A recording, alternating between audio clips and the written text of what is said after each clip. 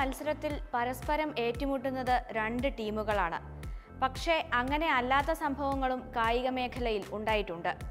പ്രത്യേകിച്ചും ക്രിക്കറ്റിൽ. കാലങ്ങളായി ക്രിക്കറ്റിൽ ദക്ഷിണാഫ്രിക്കൻ ടീമിനെ വെല്ലുവിളിക്കുന്നത് മറ്റ് ടീമുകളല്ല. നിർണായകമായ എല്ലാ മത്സരങ്ങളിലും പ്രകൃതിയാണ് എന്നും അവരുടെ എതിരാളി. നിർഭാഗ്യം മഴയുടെ രൂപത്തിൽ ദക്ഷിണാഫ്രിക്കയ്ക്കു മേൽ പെയ്തിറങ്ങാൻ തുടങ്ങിയിട്ട് കാലങ്ങളേറെയായി. ഓരോ ടൂർണമെന്റിനെത്തുമ്പോഴും എത്ര നല്ല പ്രകടനം പുറത്തെടുത്താലും അതിനേക്കാൾ നന്നായി മഴ കളിക്കുന്നതോടെ നിരാശരായി മടങ്ങാനാണ് ദക്ഷിണാഫ്രിക്കയുടെയും കളിപ്രേമികളുടെയും വിധി. മഴ മൂലം മത്സരം തടസ്സപ്പെട്ടാൽ വിജയിയെ തീരുമാനിക്കുന്ന ഡെക്വർത്ത് ലൂയിസ് നിയമം ഏറ്റവും കൂടുതൽ ഉപയോഗിച്ചതും ഒരുപക്ഷെ ദക്ഷിണാഫ്രിക്ക ആയിരിക്കും. ഇത്തവണയെങ്കിലും ഭാഗ്യം കനിയുമെന്ന പ്രതീക്ഷയിലാണ് ദക്ഷിണാഫ്രിക്ക ട്വന്റി ട്വന്റി ലോകകപ്പിന് എത്തുന്നത്.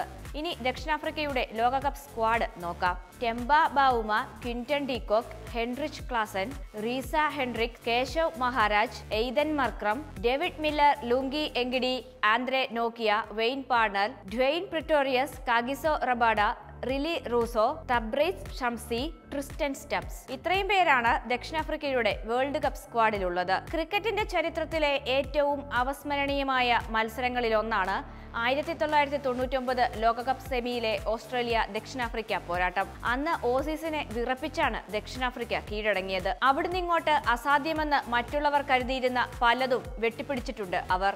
നാനൂറ്റി മുപ്പത്തിനാല് റൺസ് അടിച്ചുകൂട്ടി ഓസ്ട്രേലിയ സ്ഥാപിച്ച ഏകദിനത്തിലെ ഏറ്റവും വലിയ ടീം സ്കോർ എന്ന റെക്കോർഡ് സ്കോർ ബോർഡിലെ മഷി ഉണങ്ങും മുമ്പ് തിരുത്തി എഴുതിയത് അതിൽ ഒന്ന് മാത്രം. രാജ്യാന്തര ക്രിക്കറ്റിന് ദക്ഷിണാഫ്രിക്കയെ സമ്മാനിച്ച താരങ്ങളും നിരവധി.